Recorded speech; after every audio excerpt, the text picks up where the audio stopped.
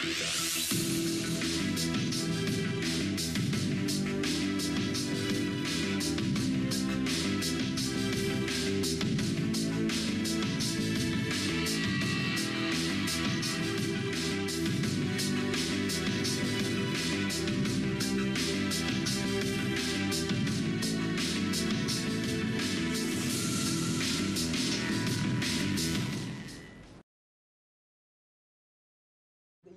Ambassadors program will bring together youth from the Republic of China on Taiwan and St. Lucia.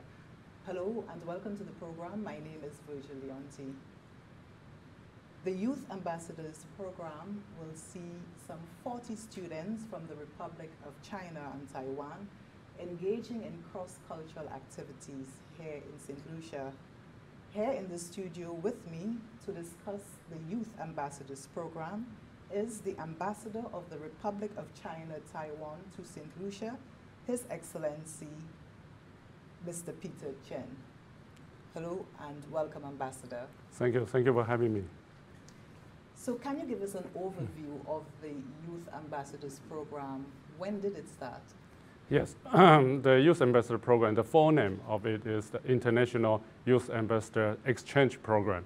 And it was launched in 2009 uh, by uh, Ministry of uh, Foreign Affairs of the Republic of China, Taiwan.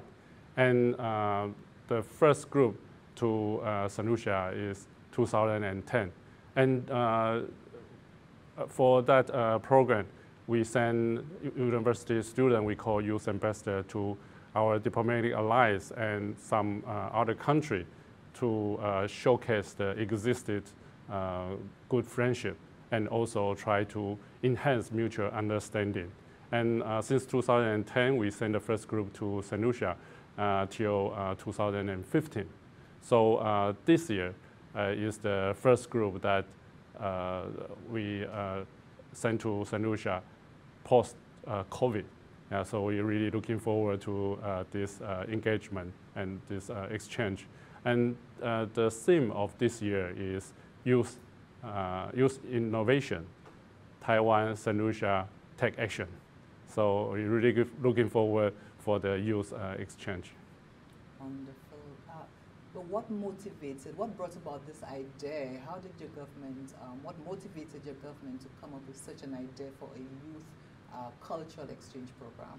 Yes, I think uh, the main purpose is uh, just, as I say, to showcase the good relationship that already existed and try to enhance the mutual understanding. However, I think everybody knows youth is our future. So um, uh, our government really pay attention of the development of youth. So uh, that's why we create this uh, youth uh, youth ambassador program, trying to, uh, for one hand, to uh, showcase the good relationship, and the other hand, to help expand the uh, horizon of uh, Taiwanese youth. And I think uh, for that uh, point of view, Taiwan and St. Lucia share the same value. Uh, so that's why I think that's why uh, Honorable Prime Minister Philip J. Pierre launched the youth economy policy. And when the youth ambassador visits St. Lucia, we work with the youth economy agency, uh, we will organize a youth forum for the youth uh, between Taiwan and St. Lucia can exchange their point of view. Wonderful. So what specific engagements will the youth from Taiwan be participating in here? And how do you think it could um, improve the bilateral relations between the Republic of China and Taiwan and St. Lucia? Uh, for this uh, time, uh, we work with uh, Ministry of Education and uh, Ministry of uh, External Affairs, Ministry of uh, Commerce, Ministry of uh, Culture, and arrange several different kinds of programs, including uh, exchange with students in South Louis Community College. we will launch cultural experience camps in two secondary school and two, um, two primary school. And also, uh, we will have some uh, exchange and or some interaction with uh, youth uh, parliament uh, members of parliament.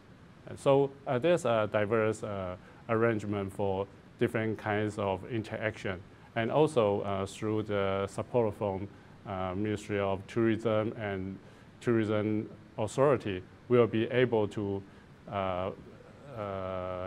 like all these students to visit some of the uh, beautiful scenery in St. Lucia. Uh, in, for example, like Piton or uh, volcano or some other beautiful beach. Yeah, so through all those exchange, I'm hoping that our youth ambassador can get to know more about the culture, about the way of life in St. Lucia. For example, like uh, you have a, a, rich culture from uh, jazz, from carnival, from emancipation, La Rose, uh, La Magre, uh, Creole. So all those uh, cultural essence are, uh, some of them are quite different from Taiwan, but actually there's some similarity.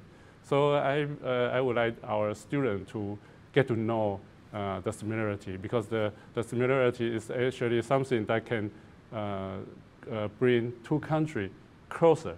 And but the, the different parts actually can amplify uh, both of us. So I think that will help them to know more about each other. And of course, the, the student that engage with the youth ambassador will also learn a lot from about Taiwan.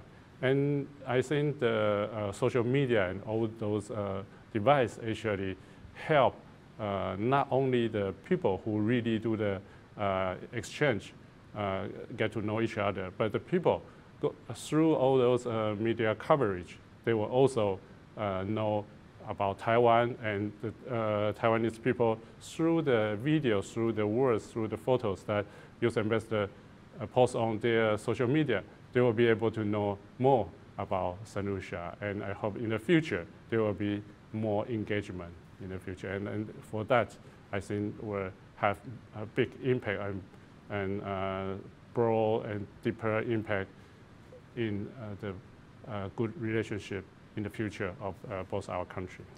You spoke, Ambassador, about, um, you mentioned some of our cultural activities like La Rose, Carnival, etc., etc. Uh, what are some of the cultural activities or cultural events would the youth from the Republic of China and Taiwan be presenting or engaging with or showcasing to other St. Lucian youth? Uh, uh, from Taiwan, uh, because uh, there are, uh, for this group, there are uh, 40 students specialized in different aspects. for example, like Diabolo is a it's kind of very popular children uh, folk, uh, folk game and uh, traditional opera, oriental instrument, folk dance. So for that, they will share with the uh, students from South Louis Community College that do exchange program with them or local art group uh, and also the students from the secondary school and the primary school. And, for, uh, and vice versa, they will also learn the local dance. They will also learn the local music yeah, from the art group, from the student that uh, they share experience. Wonderful. Um, thank you so much. We are speaking with uh, Ambassador Peter Chen, the ambassador of the Republic of China, Taiwan to St. Lucia. We are due for a break. But when we come back, we will be speaking on the robust scholarship program between the Republic of China and Taiwan and St. Lucia. The Ministry of Agriculture presents a cassava and coconut festival Sunday, August 27th at the Mickwood Playing Field from 10 a.m. to 6 p.m. Enhancing our food and nutrition security. Festival Coco. Ekasav mwedi Amiku ikapweku Podi koko ekori kasav By tout mes amis Festival Coco Ekasav mwedi Amiku ikapweku Podi koko ekori kasav By tout mes amis Laos Ghanaian Shy Entertainment from the best T-Blocks Oshun King Arthur Umpa Invader, Ezra, Levon Sealy, and lots more. Food and drinks will be on sale. Kids corner available. And the admission is totally free. So it's a nice day for the family. Buvan. So let's rebuild the cassava and coconut industry. The Cassava and Coconut Festival, Sunday, August 27th. Back to the program. I am your host, Virgil Leonti, and I am speaking with the Ambassador of the Republic of China, Taiwan, to St. Lucia, His Excellency Peter Chen. Ambassador, there is a change to the program. I think earlier on you were speaking, um, you were saying that initially the format of the Youth um, International Youth Exchange Program saw various groups going to separate countries. Mhm. And post-COVID, I think there was a change in the in the makeup, or the composition, or the format Mhm. of this cultural exchange. Could you elaborate a bit on this? Uh, in the beginning, uh, we sent out several uh, group uh, with less students to different countries at the same time and try to uh, engage more uh, of the uh, of the world. And I think that's also one of the ma- major or one one way that we expose our youth to different culture and different country. And but because post COVID uh, due to the restriction of traveling and also the concern about the spread of, uh, of COVID. So uh, last year we resumed this program, but we only arranged a group of students to one country. So in that case, uh, that will uh, be more easy to uh, control and also for the health issue. And this year we also do that. And so we are really grateful that my uh, government decide to send a, a group of youth ambassador to St. Lucia. And uh, that's, uh, I think, will be a, a, a high, uh, uh, uh, very uh, good uh, uh, point uh, for showcase uh, the good relationship between uh, Taiwan and St. Lucia. I was going to say that imagine St. Lucia being the country that is chosen Yes. is a reflection of the quality of the relations between your country and our country. Yes. Mr. Ambassador, and I must say thank you to you and your country Thank for you. that, your ambassador. Uh, can you elaborate for us on the long-term impact you think this program will have on the bilateral relations between your country and St. Lucia? Uh, since 2007, Taiwan resumed diplomatic ties with uh, St. Lucia.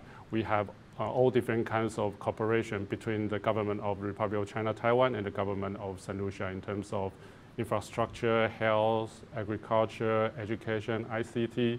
And all of that actually uh, is the base of the good relation and also the uh, long-term relation uh, between our two countries. But for that, uh, I think cultural exchange is also one of the uh, critical uh, component that uh, can bring people from two countries together. So uh, since I arrived, uh, we work with Cultural Development Foundation and Ministry of Culture to promote uh, cultural exchange. For example, 2021, with the help of the Ministry of Culture in, of Republic of China, Taiwan, uh, we, uh, we implement a project called uh, Taiwan Spotlight.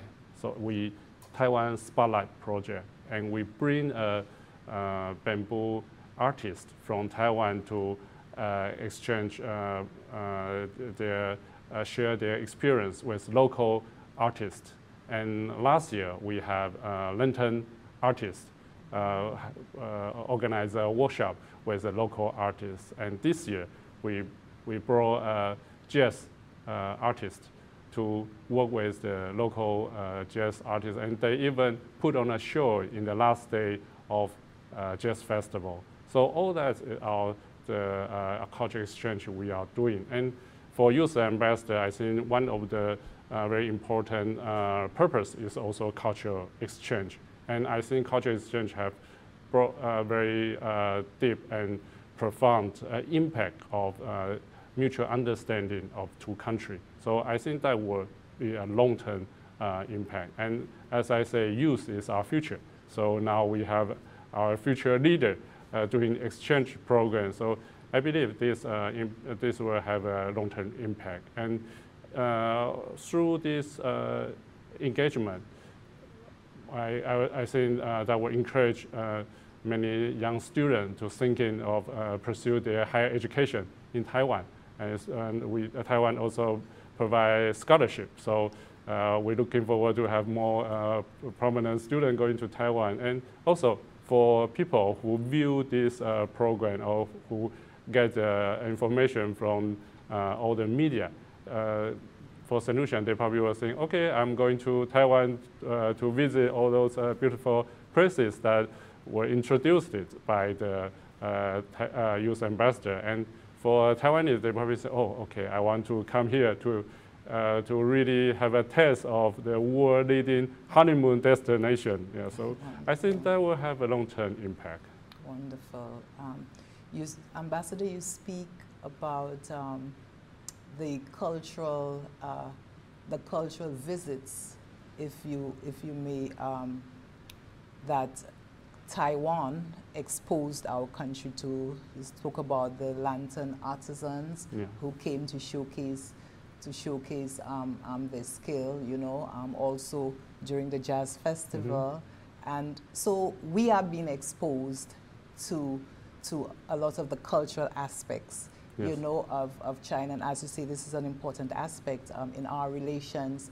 And um, the youth themselves are coming down and doing a similar thing. Mm -hmm. And mm-hmm. they, in turn, will be exposed to what our youth um, yes. will be doing. So do you expect that um, the, the, your students from, from the Republic of, of China and Taiwan will be able to take back some of our own cultural norms over to the Republic of China and Taiwan? Sure. I think uh, they will have good experience here, and when they go back, they will definitely share their experience to their classmates, uh, to their family, to their friends.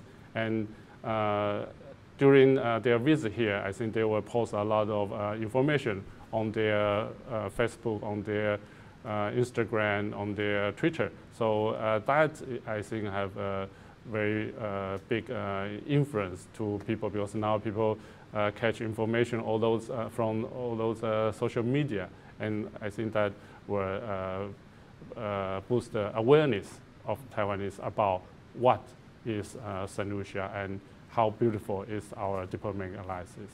Okay, now you briefly touched on, um, in your previous answer, Ambassador, you briefly touched on the Taiwanese um, scholarship program. I want us to just spend a little time on this. Um, this, what it means to St. Lucians and even to local communities, mm -hmm. you know, um, it has definitely created an impact, you know, in our country. Yeah. And for that, we are eternally grateful for that. Um, what, what does it mean to you and your country to um, be sustaining that kind of um, um, partnership through the scholarship program because it is a robust scholarship program. It has been going on for a while. Many St. Lucians have benefited, mm -hmm. have been able to come back and, you know, just implement, you know, um, what they have learned over there. And this is one area where we see, apart mm -hmm. from agriculture and so many others. But in the area of education and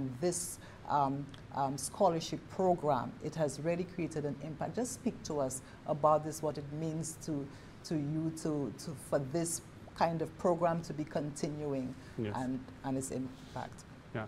Uh, capacity building is one of the, uh, one of the uh, critical uh, component of the cooperation between uh, Taiwan and St. Lucia. And we really uh, take serious about how to Uh, help uh, St. Lucian to build up uh, capacity. Yeah, and uh, scholarship program is one of the um, important part of this capacity building cooperation. So we really trying to help a good St. Lucian student to pursue their higher education in Taiwan. But and uh, because uh, the student after they study in Taiwan, they have very good feedback. So it becomes a very popular program, and every year we have uh, a lot of applicants. So the the selection of the scholarship awardee is actually uh, quite uh, fierce competition. Um, yeah. And since uh, I think uh, last year, when Honorable uh, Prime Minister Philip J. visited Taiwan, Honorable Education Minister uh, Shawn Edwards and also Honorable Minister, uh, External Affairs Minister Alva Baptiste, when they visit Taiwan, they send very strong message request for increase the scholarship and my government uh, responds that uh, this year. So this year we actually increased uh, 10 more scholarship for uh, St. Lucia students. So this year alone we sent 39 permanent uh, St. Students to Taiwan uh, for uh, their higher education. And that, I, well, I, I, believe will create tremendous impact in the no matter in the relationship, because uh, some of the students, they study in Taiwan, they make a lot of uh, Taiwanese friends, and as I say, they have very good feedback about their uh, journey of study in Taiwan, and some of them even get married in Taiwan. so uh, that uh, will create a very good uh, and harmony relationship between uh, among people to people, yeah, between two countries. And uh, after they graduate uh, from their university, a lot of them come back to uh, St. Lucia, and some now working in the government, some working uh, uh in um, hospital, and because uh, some of them major in medical service, so they they work in hospital, and some work in the private sectors, and I think all of them will become a force of the development of St. Lucia. And I think that's the impact we want to see, and we are already seeing uh, some good outcome. Yeah. Wonderful. Um, my final question, um, Ambassador, although it is not directly in the purview, but since you spoke about capacity building, and you did mention earlier in the interview about the Youth Economy Agency, yes. I know that you will um, involved. Could you just speak to us about um, your country's um, involvement with the Youth Economy Agency, how you were able to assist in the capacity building of young people? Uh, I think uh, both Taiwan and St. Lucia really pay attention and value the importance of uh, youth. So uh, uh, since um, Honorable Prime Minister launched the youth economy policy, Taiwan are really keen to provide assistance. So uh, 2021, uh, I actually signed a letter of uh, intent with Honorable Prime Minister to launch a program we call Youth and Women Economic Empowerment Program. So since then, we already doing a lot of uh, workshop, a lot of classes, or even incubator program to help youth and uh, women.